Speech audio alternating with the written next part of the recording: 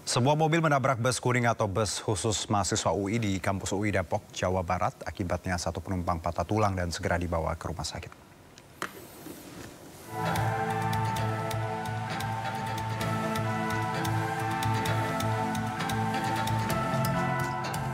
Guncangan keras terekam kamera dashboard milik bus kuning UI. Saat memutar balik, sebuah minibus berisi tiga mahasiswa UI menabrak bagian samping bus kuning dengan kecepatan tinggi di kawasan kampus Universitas Indonesia. Akibat kejadian ini, minibus yang dikemudikan mahasiswa ringsek.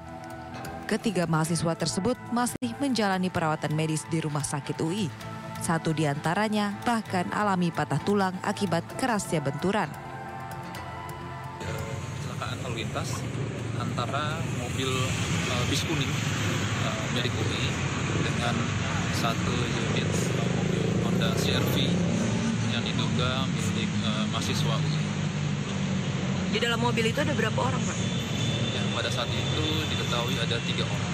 Mahasiswa semua, mahasiswa UI semua. Ya, diketahui ada mahasiswa UI. Diduga sopir mobil tak bisa mengendalikan kendaraannya saat melihat bus putar balik hingga langsung menabrak bus. Polisi masih melakukan penyelidikan lebih lanjut terkait kecelakaan ini.